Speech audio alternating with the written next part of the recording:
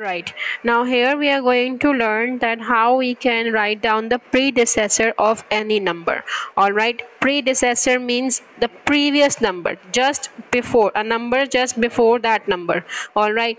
Now for example you have like uh, what comes before 100.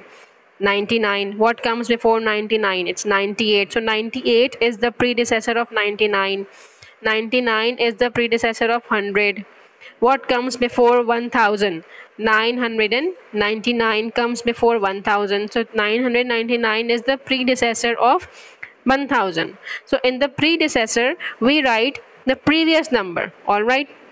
And when we write the previous number we need to see the last digits. All right? The last three are going to help you to find out the previous uh, number of this whole number. This number is 60 million 129,808 so what comes before 808? This only is going to help you here. 60 million 129,807. So your answer is going to be 60 million 129,807. Alright. And if I ask you what comes before that, so you can say 60 million 129,806 so predecessor is like going one number before a pre one number less than that okay? If you are going to uh, write down the number before this 808 we can write it six the predecessor of this number is 60 million 129,807 and if I ask you that what is the predecessor of then this number so you can write here 60 million 129,000 806 all right. If you still feel, confusion then how we can find out the previous number or predecessor? So you can do one thing is to just subtract 1 from this number the last digit.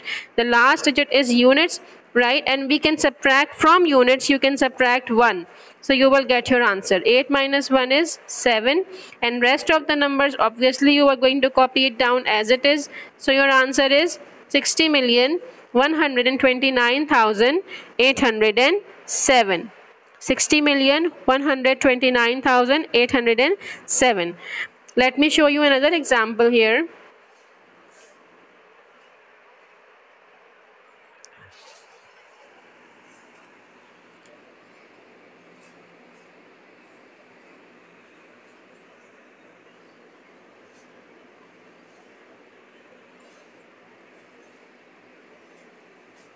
okay.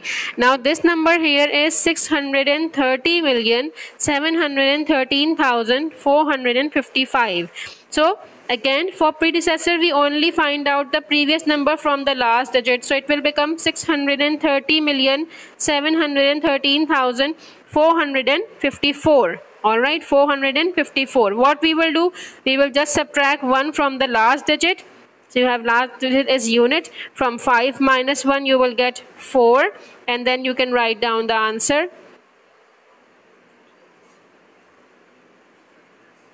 Six hundred and thirty million seven hundred and thirteen thousand four hundred and fifty four. What comes before four hundred fifty five?